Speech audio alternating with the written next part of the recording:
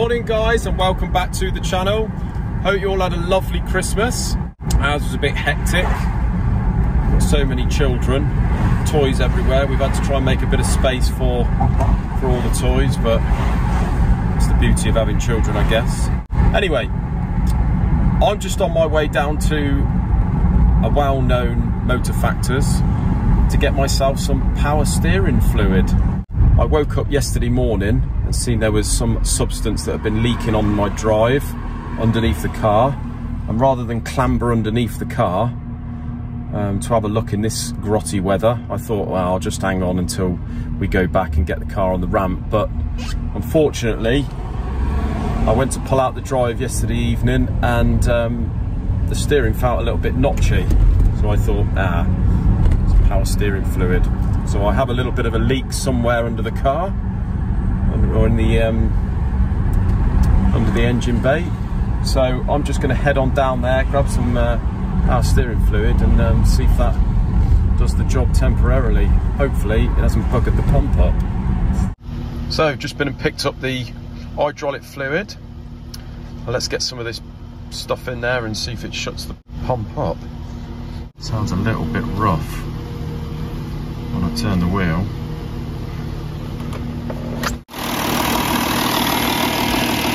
Take the cap off.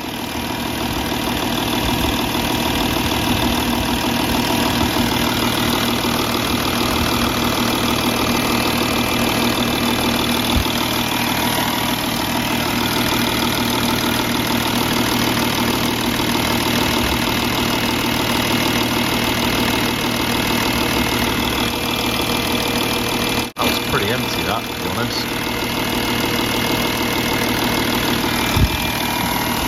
Just going to turn the wheel. Let's see if it's...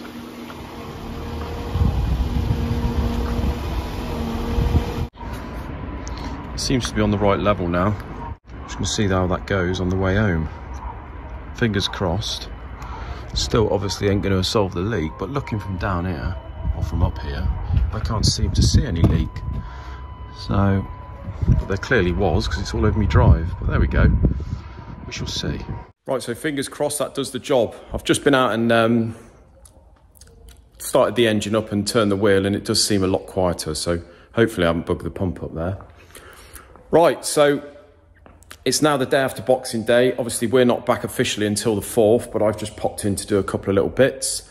And um, I did get an email saying that they had received, Race Technologies had received our dash. So hopefully we should get back, that back sort of middle of January and I can get that, get that back in the kit car. As I say, I'm just waiting for a, a dryish day really so I can take this out. I'm absolutely buzzing to have a go in this kit car. But it's not really worth taking it out in this weather, to be honest with you sort of be all over the shop and it would get it real shitty and we've just we've only just done it so right let's have a little look see what we've got in here ready for when we get back. So we've had another load of work come in from a, a channel watcher. So really appreciate that. This is an mx5 engine. We've as you can see we've cleaned up the cylinder head already and give it a face. Uh, that's took about 10 thou to clean that face actually because it was blowing a gasket. Now what I'm going to do when I get back is I'm going to cut the valves and seats and the guy's going to do the clearances himself.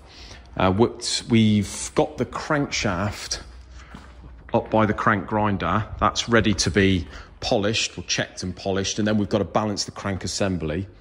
He's gone away and he's bought his own rods and pistons so I'm going to check the balance and the weight on those and we're going to check that he wants the clearances checked with Plastigauge um, on the crank. So I've got the block up there being bored. So I'll just show you this. So there's the block. I've bored and honed that.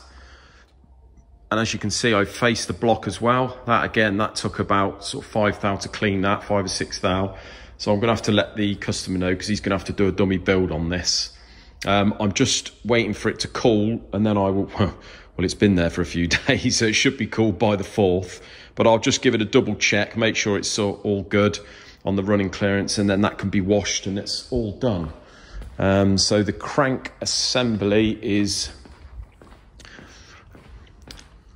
is over there, ready to be balanced. So I shall do a little video on on balancing that because you guys seem to really like the the crank balancer. Seems a little bit therapeutic to watch. These are the guy's pistons. He's got CP pistons, as you can see. Very nice item. Very nice. Uh, finished lovely. So yeah. But as I say, he's going to be doing his, his own build on that. So that's what we've got coming there. So the Alfa block that I showed you, which we're waiting on tooling for to do the inserts down at the base of the block. The customer did come in the last week before Christmas and bought us another one to do. Now this one, as you can see, that is one of the reasons that the other one got welded up. As you can see, that is horrible down the base of there. But the only advantage is with this, it has got the original threads in. So, as bad as it looks at the moment, we probably can do something with this.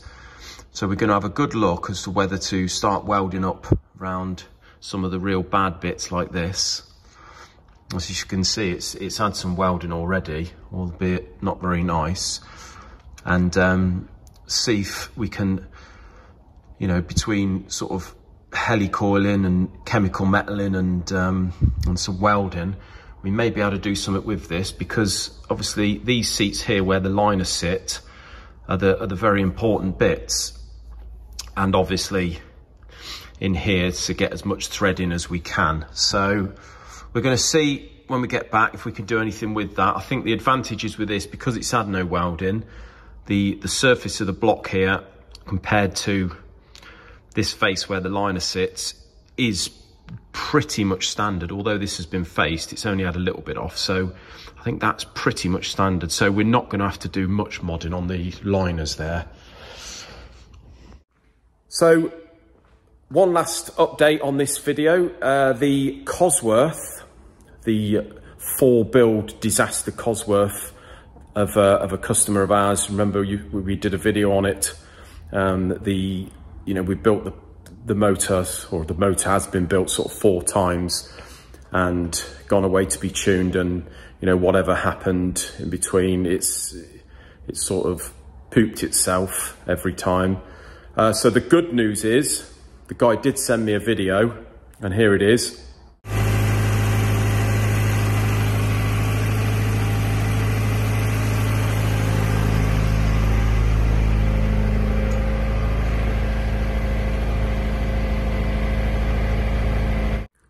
So as you can see, that's really good news. He said the engine sounds absolutely sweet as a nut and he's going to go away now. And in, whereas before, I think the thing was running on, on the dyno.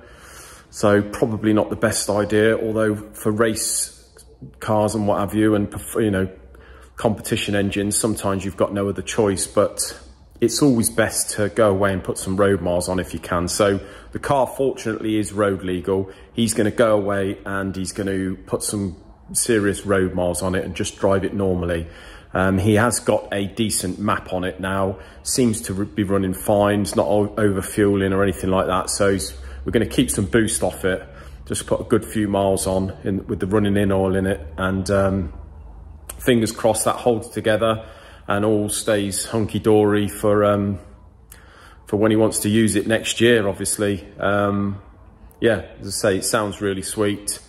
So just glad that I did hear it at that track day and um, suggest that he did pull the motor because albeit we had to rebuild it anyway, we've at least saved the main bits of the engine, you know, the, the expensive bits like the crankshaft and maybe chucking a rod out the block or something like that. So although it is very annoying for him and slightly annoying for us because it's cost us both, um, fingers crossed that thing's going to hold together and run perfect next year.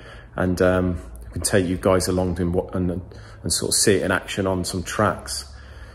but yeah, that's it for today, guys. As I say, we're not open till the 4th, but I am going to be in this week now and again and just... Um, we always have people dropping stuff in in between Christmas. I get people messaging me and um, and ringing up on my mobile to, to sort of see when I can bring things in. So if I can accommodate, I only live a few miles up the road, so I'll pop in and, and take that stuff in.